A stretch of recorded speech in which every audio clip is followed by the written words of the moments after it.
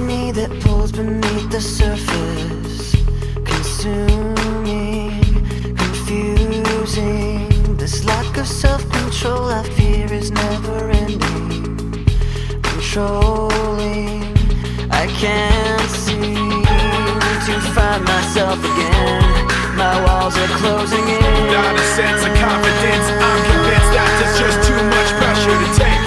I felt this way before. So